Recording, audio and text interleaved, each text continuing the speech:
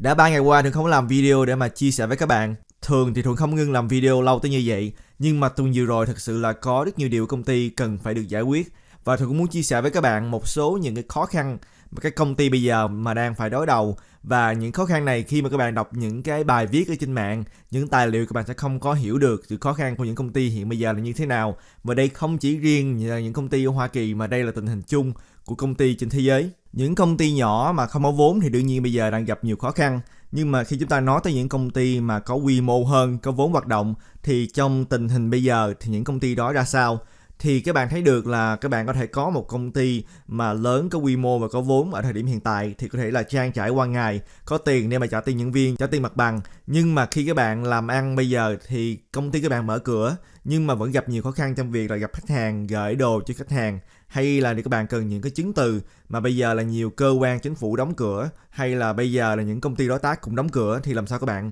hoàn tất được công việc của mình? Như là các bạn thấy được là công ty các bạn có thể mở cửa, nhưng mà công ty đối tác có thể là mở cửa hạn chế, hoặc là không có mở cửa. Thành ra các bạn cũng không thể nào mà hoạt động được. Đó là những khó khăn mà các công ty lớn phải đối đầu ở thời điểm hiện tại. Và trong tuần qua thường cần phải giải quyết rất nhiều những vấn đề tương tự trong công ty và đó chính là lý do tại sao mà trong vòng 3 ngày qua thường không thể làm video để mà chia sẻ với các bạn. Nhưng mà trong 3 ngày qua thì cũng có rất nhiều những cái diễn biến trên thị trường mà chúng ta sẽ nói tới trong video hôm nay. Thường muốn chia sẻ với các bạn một số những tài liệu mà thường nghĩ là các bạn sẽ tìm thấy được giá trị trong những tài liệu này. Xin chào các bạn đã đến với Thuận Capital. Hôm nay là ngày 18 tháng 4 năm 2020 là sáng thứ bảy ở Cali và một trong những tin tức lớn được chia sẻ cách đây 2 ngày ngày 16 tháng 4 đó chính là tổng thống Donald Trump đã lên một cái kế hoạch để mà mở cửa Hoa Kỳ trở lại. Kế hoạch này được nói tới chi tiết trong một bài viết gọi là Open Up America Again, hay là mở cửa Hoa Kỳ trở lại. Bài viết này dài 18 trang và chúng ta sẽ nói tới là cái kế hoạch này là như thế nào và ảnh hưởng ra sao đối với thị trường, cũng như chúng ta sẽ nói tới là tương lai thị trường tài chính sẽ ra sao. Nhưng mà trước khi mà chúng ta đi vào thêm chi tiết thì cũng như thường lệ, tất cả chỉ vì mục đích thông tin và không được xem là lời khuyên đầu tư. Và nếu như mà các bạn nhận được giá trị trong video ngày hôm nay thì các bạn đừng quên nhấn cái nút like và đăng ký vào kênh để giúp kênh được tiếp tục phát triển. Một điều mà tôi muốn nói với các bạn đó chính là có bạn hỏi Thuận về trang web tiền kỹ được số.org thì các bạn cần nên lưu ý là trang web này không phải là trang web của Thuận và các bạn cũng đã biết là Thuận làm YouTube cũng đã 3 năm và Thuận sẽ không bao giờ khuyến khích bất cứ ai đầu tư vào dự án nào chứ đừng nói tới là những dự án siêu lợi nhuận hay là hype cho nên Thuận sẽ không bao giờ liên lạc với các bạn hay là nói các bạn nên đầu tư vào dự án nào. Các bạn cũng đã biết là tiêu chỉ của channel này là tất cả chỉ vì mục đích thông tin và không được xem là lời khuyên đầu tư. Cho nên các bạn cần phải cẩn thận để tránh bị scam. Nhưng mà các bạn cũng đã biết là trong 3 năm qua thì người mà giả dạng Thuận Capital thì vô số kể, cho nên Thuận cứ report liên tục. Nhưng mà report người này lại có người khác cho nên những bạn nào mà muốn hỗ trợ Thuận Capital thấy những trang web giả hay là thấy những website giả thì có thể là liên lạc với Thuận và nếu các bạn có thể thì có thể là report trang web đó hay là Facebook đó hay là YouTube đó thẳng để về YouTube để mà Facebook để họ có thể giải quyết. Nếu các bạn có thể làm được điều đó thì Thuận và team của Thuận Capital sẽ rất cảm ơn các bạn. Trở lại với chủ đề ngày hôm nay, thì tôi nghĩ là câu hỏi đầu tiên là có nên mở cửa nền kinh tế trở lại ở thời điểm này hay là không? thì tôi nghĩ là có hai cái yếu tố. Yếu tố đầu tiên, đó chính là cái yếu tố liên quan tới y học. Và bây giờ các chuyên gia y học thì có hai mối lo ngại lo ngại đầu tiên, đó chính là nếu như mà mở cửa nền kinh tế trở lại thì có nguy cơ là dịch bệnh là sẽ lan tỏa một lần nữa, lần thứ hai. Và thứ nhì nữa là nhiều chuyên gia y tế nghĩ là muốn mở cửa nền kinh tế trở lại thì phải có một cái kế hoạch để mà thử hết tất cả người dân ở Hoa Kỳ coi coi là ai bị bệnh, ai không bị bệnh. Nhưng mà tình hình bây giờ thì không có đủ những cái kit để mà thử nghiệm coi coi là ai bị hay là ai không bị. Và nếu như muốn đầy đủ cái kit để mà thử nghiệm thì có thể cần phải dài tuần nữa, thậm chí là vài tháng nữa thì mới có đủ những cái kit thử nghiệm đó. Đó là về mặt y học, chúng ta sẽ không nói tới là có nên hay là không về mặt y học. Thuận chỉ có thể chia sẻ với các bạn về cảm nghĩ của Thuận về có nên mở cửa hay là không về góc độ tài chính thì câu trả lời của Thuận là chúng ta cần phải nên mở cửa nền kinh tế trở lại. Tại sao? Như được Thuận đã chia sẻ với các bạn ở đầu video là hiện bây giờ có rất nhiều công ty đang gặp khó khăn và Thuận có thể cho các bạn một số những tài liệu chi tiết hơn. Đây là một cái bản khảo sát bởi cái cục dự trữ liên bang ở New York, New York Fed. Thì các bạn thấy được là trong cái cuộc khảo sát này, cục dự liên bang đã nói chuyện với rất nhiều những công ty, có thể nói là gần như là 3.000 công ty và ba ngàn công ty này là có công ty lớn, công ty nhỏ. Và các bạn thấy được là những cái màu mà bên tay phải, màu xanh đậm, đó chính là những công ty bây giờ mà đang trong cái tình trạng là vẫn còn rất là khỏe mạnh, còn rất nhiều vốn. Cái màu xanh mà nhạt hơn là những công ty bây giờ là coi như trong cái tình trạng tài chính là ổn định. Những công ty mà màu cam này là những công ty đang gặp nguy hiểm. Và những công ty mà màu đỏ là những công ty mà trong cái tình trạng là có thể bị phá sản. Thì các bạn thấy được là câu hỏi là nếu như mà cứ tiếp tục làm ăn lỗ lã trong 2 tháng, thì các công ty này sẽ có những cái phản ứng như thế nào? Thì các bạn thấy được là những câu trả lời trong đó có là đầu tiên là họ có thể lựa chọn là cắt lương nhân viên hay là sa thải nhân viên. Lựa chọn đó là lựa chọn đầu tiên. Lựa chọn thứ nhì, đó chính là giảm đi quy mô hoạt động hay là kéo dài thời gian trả nợ và các chi phí lựa chọn thứ ba, đó chính là chủ công ty đưa tiền cá nhân của mình để mà hỗ trợ công ty. Lựa chọn thứ tư, đó chính là mượn thêm tiền. Lựa chọn thứ năm là đóng cửa công ty. Và lựa chọn thứ sáu là không làm gì hết, tại vì công ty vẫn còn đủ tiền. Thì các bạn thấy được là trong những công ty mà đang khỏe mạnh và đang ổn định bây giờ, chúng ta không nói tới những công ty mà đang gặp rất nhiều khó khăn hay là đang trong tình trạng nguy ngập thì mình thấy được là ngay cả những công ty mà đang ổn định bây giờ, như là những công ty mà cái màu xanh đậm và cái màu xanh lợt, thì ngay cả những công ty đó bây giờ lựa chọn hàng đầu của họ. Nếu như mà bị lỗ lạ hai tháng liên tục, thì lựa chọn hàng đầu đó chính là cắt lương nhân viên và sa thải nhân viên. Đây cũng là lý do mà khiến cho nhiều người rất lo lắng và cũng là một trong những lý do tại sao mà tổng thống Trump đang rất là gấp rút để mà cứu vãn tình hình bằng cách là mở cửa kinh tế trở lại tại vì nếu như không thì tình trạng thất nghiệp là sẽ ngày càng nghiêm trọng hơn. Còn những công ty mà đang gặp khó khăn hay là những công ty mà bây giờ là trong cái tình trạng là sắp sửa phá sản thì lựa chọn hàng đầu của họ bây giờ là chủ của công ty, đưa tiền vào trong công ty để mà hỗ trợ trong thời gian này. Tuy nhiên cái nguồn tiền đó cũng là có hạn. Các bạn thấy được là một trong những cái lựa chọn khác đó chính là mượn thêm tiền. Nhưng mà mượn thêm tiền bây giờ cũng không có thể được. Tại sao chúng ta sẽ nói tới một lát nữa? Cho nên nhìn vào những cái tài liệu này các bạn thấy được là tình hình của những công ty ở Hoa Kỳ bây giờ rất là nguy ngập. Ngay cả những công ty khỏe mạnh bây giờ cũng có ý định là sẽ sa thải nhân viên và các bạn thấy được là ngành kinh tế của Hoa Kỳ hầu như đã bị tê liệt trong vòng hơn 4 tuần qua. Bây giờ chúng ta đã bước qua tháng thứ hai, có nghĩa là trong vòng 4 tuần nữa mà không có cái tiến triển nào thì nguy cơ là sẽ càng có nhiều người thất nghiệp hơn. Tình hình thất nghiệp bây giờ là chỉ là mới bắt đầu. Và tài liệu mà chúng ta mới vừa nhìn thấy đó chính là tài liệu bởi Cục Dự trữ Liên bang ở Hoa Kỳ ở New York. Và các bạn thấy là CNBC hồi quý 4 năm 2019 cũng đưa ra một cái cuộc khảo sát của các công ty trên toàn thế giới và đây là tài liệu được chia sẻ hồi quý 4 năm 2019, có nghĩa là cái thời điểm mà bị khảo sát này thì những công ty này vẫn chưa có biết là cái sự nghiêm trọng của dịch bệnh là như thế nào. Cho nên các bạn cần phải thấy được là ngay cả cách đây vài tháng trước khi mà dịch bệnh bùng nổ thì nhiều công ty cũng đã bắt đầu gặp nhiều khó khăn. Các bạn thấy là câu hỏi là trong vòng 12 tháng tới đây, có nghĩa là trong năm 2020 thì những công ty mà được khảo sát họ sẽ làm gì về việc số lượng nhân viên? Họ sẽ tăng nhân viên có nghĩa là màu xanh đậm. Họ sẽ sa thải nhân viên có nghĩa là cái màu đỏ. Họ sẽ giữ cái số lượng nhân viên giống nhau có nghĩa là cái màu xanh lá cây. Và cuối cùng màu tím đó chính là không có trả lời thì những công ty ở Hoa Kỳ các bạn thấy được là gần như 60% của các công ty được khảo sát nói là họ đã có ý định là sa thải nhân viên trong năm 2020 và đây là cái ý định trước khi mà có dịch bệnh xảy ra. Cho nên các bạn thấy được là dịch bệnh đã làm cho cái tiến triển sa thải nhân viên tăng trưởng rất là nhanh. Và ngay cả khi chúng ta nói tới cái khối Trung Đông ở châu Âu và châu Phi, thì các bạn thấy được là cái số lượng công ty mà muốn sa thải nhân viên và cái số lượng công ty mà muốn mướn thêm nhân viên thì gần như là bằng nhau. Nhưng mà bây giờ thì tôi nghĩ là đã khác rất nhiều. Tại vì bây giờ có dịch bệnh thì cái số lượng công ty mà muốn sa thải nhân viên có nghĩa là màu đỏ này đã tăng lên rất nhiều. Và khi chúng ta nói tới châu Á thì các bạn thấy được là cũng tương tự như là châu Âu và châu Phi và khối Trung Đông. Thì cái số lượng công ty mà muốn muốn thêm nhân viên và cái, cái số khối lượng công ty mà muốn sa thải nhân viên thì cũng bằng nhau. Nhưng mà cũng tương tự đây là tài liệu trước khi mà cái công ty biết được tình hình dịch bệnh bây giờ bây giờ tình hình đã khác. Tôi nghĩ là nhiều công ty hơn đã muốn sa thải nhân viên trong thời điểm này đây là một cái tài liệu cho các bạn thấy được là tình hình về việc thất nghiệp là ngày sẽ càng trầm trọng hơn và không chỉ riêng là ở Hoa Kỳ mà còn cả ở thế giới. Cho nên việc mà mở cửa lại nền kinh tế Hoa Kỳ rất là quan trọng tại vì đây là nền kinh tế lớn nhất, đây là nơi mà tiêu thụ nhiều hàng hóa nhất, ảnh hưởng tới tất cả những nền kinh tế còn lại. Các bạn có thể hiểu được là tại sao mà Tổng thống Trump bây giờ đang rất là muốn mở cửa nền kinh tế Hoa Kỳ trở lại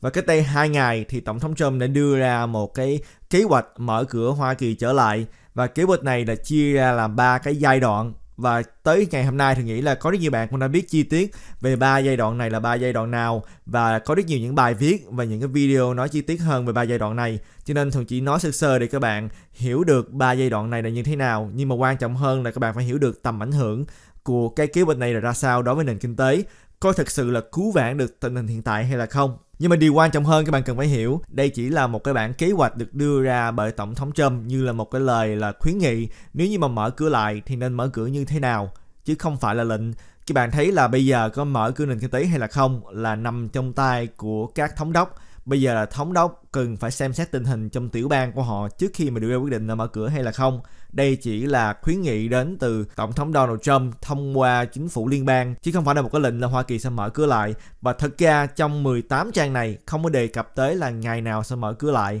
Tại vì ngày mở cửa là được quyết định bởi thống đốc chứ không phải là được quyết định bởi Tổng thống Trump. Thì để nói tóm tắt ba cái giai đoạn này thì cái giai đoạn đầu tiên, giai đoạn 1 là cái giai đoạn này là bao gồm nhiều biện pháp hạn chế hiện tại như là tránh đi lại khi mà không cần thiết hay là không nên đến những nơi mà có hơn 10 người, không nên tụ tập theo nhóm. Những cái địa điểm lớn như là nhà hàng, nơi thờ phượng tôn giáo, như là nhà thờ, như là chùa, những cái khu mà tập thể thao thì có thể là mở cửa hoạt động trở lại nhưng mà phải hoạt động với các quy định nghiêm ngặt về khoảng cách, có nghĩa là mỗi người phải cách xa nhau là 6 feet, có nghĩa là 2 mét. Giai đoạn thứ nhì, nếu như mà không có những cái bằng chứng là cái sự dịch bệnh bùng phát trở lại ở trong cái nơi đó, thì các di chuyển được coi là không có thiết yếu, có thể là thực hiện trở lại, có nghĩa là có thể là di chuyển đi du lịch hay là đi công tác. Các trường học có thể mở cửa trở lại và các quán bar có thể hoạt động, nhưng mà chỉ có thể là chứa cái số lượng khách hạn chế. Và giai đoạn 3 là các tiểu bang mà có cái hướng giảm rất là lớn so với việc à, cái số ca mắc về dịch bệnh. Có nghĩa là có nhiều dẫn chứng cho thấy là dịch bệnh không tái trở lại ở những nơi đó. Thì có thể là được phép tương tác cộng đồng như là trước đây. Không bị hạn chế bởi 6 feet, không bị hạn chế bởi khoảng cách là 2 mét. Việc thăm viếng các bệnh viện và các nhà dưỡng lão có thể là thực hiện trở lại và các quán bar và các nhà hàng có thể là tăng sức chứa người lên. Có nghĩa là cho đến giai đoạn thứ ba thì chúng ta mới là trở lại như trước đây. Giai đoạn 1 và giai đoạn 2 vẫn hoạt động vô cùng hạn chế. Thì sau khi mà Tổng thống Trump đưa ra các chiến lược mở cửa Hoa Kỳ trở lại, thì thị trường phản ứng như thế nào? Thì trước hết chúng ta hãy nhìn vào chỉ số S&P 500 chứng khoán của Hoa Kỳ thì các bạn thấy được là chỉ số S&P 500 ngày 16 tây, ngày thứ năm mới đây, khi mà cái tin tức mở cửa trở lại được đưa ra thì các bạn thấy được là ngày 16 tây, chứng khoán hầu như là không có phản ứng chúng ta hãy nhìn vào một cái thị trường khác, đó chính là cái thị trường vàng thì các bạn thấy được là thị trường vàng thì ngày 16 tây khi mà tin tức này đưa ra thì cái giá vàng thực ra lại đi trở xuống và chúng ta nhìn vào cái thị trường dầu thì ra sao? Nhìn vào thị trường dầu thì ngày 16 tới ngày thứ năm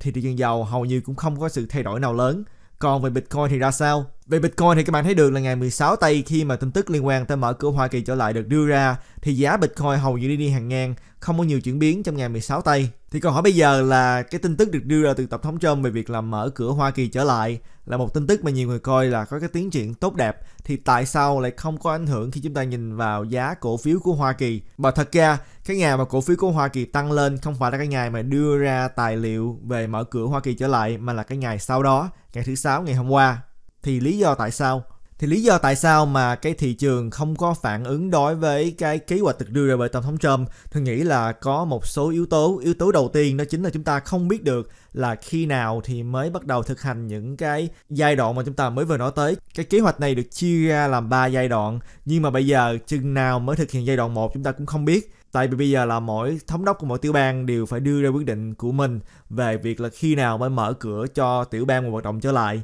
và mỗi thống đốc đều phải suy nghĩ rất kỹ trước khi mà ra quyết định đó. Tại vì mở cửa trở lại thì cái nguy cơ dịch bệnh là lan tỏa là một nguy cơ mà nhiều người rất là lo lắng. Tôi nghĩ là không ai có thể là đảm bảo được là mở cửa lại sẽ không vấn đề gì. Cho nên, việc mở cửa lại là khi nào chúng ta cũng không biết. Đây chỉ là một cái kế hoạch được đưa ra bởi tổng thống trump chứ không phải là một cái lệnh như chúng ta đã nói tới. Đó là điều đầu tiên. Điều thứ nhì là mở cửa lại thì các bạn thấy được là chia làm 3 giai đoạn và giai đoạn 1 và giai đoạn 2 thì cực kỳ hạn chế. Thực ra mà nói là giai đoạn 1 cũng không có khác gì với lại tình hình hiện tại bây giờ bao nhiêu. Và giai đoạn 2 thì cho thêm một số những cái tiểu thương mở cửa trở lại, những cái nhà hàng mở cửa trở lại. Nhưng mà vẫn bị rất nhiều hạn chế và bây giờ thì các công ty đã đang bị lỗ lã mở cửa lại họ vẫn tiếp tục sẽ bị lỗ lã cái sự khác biệt là lỗ lã nhiều hay là lỗ lã ít nhưng mà cái sự lỗ lã đó vẫn có thể dẫn đến nguy cơ là nhiều công ty lại tiếp tục sa thải nhân viên, vẫn tiếp tục dẫn đến cái nguy cơ là nhiều công ty có thể là sẽ bị phá sản cho nên, về mặt tài chính thì những nhà đầu tư bây giờ cũng không có cảm thấy là cái kế hoạch được đưa ra bởi tổng thống Trump có thể cứu vãn được tình hình. Cho nên ngày hôm đó, khi mà thông tin này được đưa ra thì thị trường vẫn đi hàng ngang thì các bạn có thể là suy nghĩ là nếu như mà mở cửa lại mà những nơi như là nhà hàng, tiệm nail hay là phòng gym mà mở cửa lại trong giai đoạn 1 và giai đoạn 2 mà bị vô cùng hạn chế là khách hàng và nhân viên phải cách xa nhau là 6 feet, cách xa nhau là 2 mét thì thu nhập của những nơi đó các bạn thấy là sẽ bị hạn chế vô cùng. Có thể chỉ còn có 1 phần 3, 1 phần 4 của thu nhập trước đây nhưng mà chi phí hoạt động thì cũng không có thay đổi. Mặt bằng vẫn như vậy cho nên các bạn thấy là những công ty đó những cái tiểu thương đó vẫn sẽ bị rất nhiều những cái áp lực và lỗ lã sẽ càng ngày là càng dâng cao dẫn đến việc là họ sẽ sa thải nhân viên hoặc là đóng cửa. Và cái điều mà họ cần bây giờ đó chính là tiền. Và bây giờ thì họ mượn tiền ở đâu? Các bạn thấy được là những cái số tiền mà được đưa ra cho tiểu thương mượn trong cái gói hỗ trợ mà 2.000 tỷ đô la chúng ta nói tới là 350 tỷ để để riêng ra cho những tiểu thương mượn. Thì cái số tiền đó bây giờ đã hết. Các bạn thấy được là cái số tiền mà hứa cho mượn đã lên tới con số là 349 tỷ mà trong khi là tất cả số tiền để riêng ra cho tiểu thương mượn chỉ có 350 tỷ, thì bây giờ các bạn là một tiểu thương, là một cái công ty nhỏ, các bạn muốn mượn tiền cũng không có tiền để cho các bạn mượn và điều cần thiết bây giờ là phải có thêm tiền để cho các tiểu thương mượn, nhưng mà cái số tiền đó đã hết và đảng Cộng Hòa thì tuần vừa rồi nói là muốn xin thêm 250 tỷ đô la để mà hỗ trợ những tiểu thương, nhưng mà cho tới bây giờ vẫn không có kết quả. Các bạn cũng nên nhớ là tuần rồi khi mà bỏ phiếu thì đã bị thất bại thì bây giờ là hai bên đảng Cộng hòa và đảng Dân chủ là phải đưa ra một cái gói hỗ trợ kế tiếp mà hai bên đồng ý để mà hỗ trợ những cái công ty nhỏ. Chứ còn tình hình bây giờ thì rất là khó khăn. Và bây giờ chúng ta nói là cái số tiền 349 tỷ này là hứa cho mượn, tại vì phần lớn người ta vẫn chưa nhận được tiền. Cũng như là bây giờ là cái số lượng người mà thất nghiệp ngày lại càng lên cao. Các bạn thấy được là tài liệu mới nhất cách đây hai ngày thì đã có 22 triệu người Hoa Kỳ đang thất nghiệp. Con số rất là lớn và cái số người mà đang khai thất nghiệp bây giờ để mà nhận tiền hỗ trợ thì vẫn chưa có nhận được tiền tại bây giờ cái nơi mà giải quyết tiền thất nghiệp thì họ đã quá bận cho nên nhiều người bây giờ là khai thất nghiệp mà một tháng sau vẫn chưa nhận được tiền cho nên tình hình bây giờ là vô cùng khó khăn. Các bạn có thể hiểu được là tại sao mà cái kế hoạch đưa ra bởi Tổng thống Trump vẫn không có ảnh hưởng đối với tình hình tài chính. Nhưng mà các bạn thấy là một ngày sau, ngày thứ sáu, ngày hôm qua thì thị trường chứng khoán lại tăng lên thì lý do là không phải là liên quan tới cái gói hỗ trợ, mà lý do là liên quan tới một tin tức. Đó chính là tin tức liên quan tới là công ty Gilead nói là họ có lòng tin là họ sẽ chế tạo được một cái thuốc hỗ trợ được dịch bệnh này. Và tôi nghĩ đây là một điều mà quan trọng hơn, khiến cho cái thị trường tài chính lạc quan hơn về tương lai. Tại vì các bạn thấy được là hai điều cần thiết bây giờ, điều đầu tiên, đó chính là cần thêm tiền để mà hỗ trợ cá nhân, để mà hỗ trợ các công ty vượt qua được khó khăn hiện tại. Nhưng mà tiền hỗ trợ đó có nhiều cấp mấy thì cũng sẽ đến ngày tiền hỗ trợ đó không còn nữa. Cho nên điều mà quan trọng hơn hết đó chính là cần phải có thuốc để mà giải quyết dịch bệnh này. Và bây giờ thì nếu chúng ta nói tới vaccine thì phải chờ cho đến là 12 tháng tới 18 tháng sau mới có vaccine. Điều quan trọng hơn là bây giờ chúng ta có cái thuốc nào mà đang sử dụng hiện tại có thể là khắc chế được dịch bệnh này hay là không? Và đương nhiên bây giờ đã có rất nhiều những cái dẫn chứng như thấy là có một số những cái thuốc đang được sử dụng có hiệu quả đối với dịch bệnh này, nhưng mà chúng ta cần phải có thêm tài liệu để chắc chắn là thuốc nào và sử dụng ra sao nhưng mà bây giờ thì công ty Gilead nói là có lòng tin sẽ chế tạo được thuốc trong thời gian ngắn, cho nên bây giờ là thị trường lại có thêm niềm tin và đây chính là những diễn biến lớn về tình hình tài chính mà Tùng muốn chia sẻ với các bạn trong 3 ngày qua. Và Tùng hy vọng là các bạn nhận được giá trị trong video này. Các bạn có cảm nghĩ gì về việc là Hoa Kỳ mở cửa trở lại và khi nào thì các bạn hãy comment ở phía dưới. Và nếu như các bạn là một trader mà các bạn muốn ủng hộ Thuận Capital, các bạn có thể tham gia các sàn giao dịch thông qua link ở phía dưới video này. Thì các bạn có thể tham gia những sàn margin như là sàn NFX và sàn Bybit. Tham gia sàn NFX bằng cách bấm vào link tham gia sàn. Sau khi mà đăng ký thành công, thì các bạn có thể bấm vào cái nút kế bên để đăng ký vào nhóm nhận hỗ trợ cũng như là cái tín hiệu trade miễn phí thông qua Telegram. Nếu như các bạn tham gia sàn Bybit thì sau khi đăng ký thành công và các bạn nạp tiền thì các bạn sẽ được thưởng 90 đô la và cái phí giao dịch trong tháng đầu tiên sẽ được giảm 10%. Tuy nhiên là giao dịch margin có rất nhiều nguy hiểm, các bạn có thể có được lợi nhuận cao nhưng mà nguy hiểm cũng rất cao. Các bạn có thể là long đánh lên hay là short đánh xuống, thị trường lên xuống các bạn đều có thể là kiếm được lợi nhuận. Nhưng mà chơi margin không phù hợp với những bạn mới chỉ phù hợp với những bạn nào mà có kinh nghiệm trading. Nếu như các bạn muốn giao dịch altcoin, các bạn có thể tham gia sàn Binance Tham gia thông qua link của Thuận Capital ở phía dưới các bạn có thể là được giảm 10% phí giao dịch. Sau khi mà giao dịch, sàn sẽ trả lại 10% vào trong ví của các bạn. Ba sàn này, starbucks Bybit và Binance là ba sàn quốc tế. Nếu như mà các bạn là một người ở Hoa Kỳ, các bạn có thể tham gia sàn Coinbase bằng cách ta bấm vào nút đăng ký thông qua link ở phía dưới video này. Và ngoại trừ các video, các bạn có thể tìm thấy các bài viết của đội Thuận Capital ở trên trang web thuận capital.com và Thuận sẽ hẹn gặp lại các bạn trong video kế tiếp. Tạm biệt các bạn.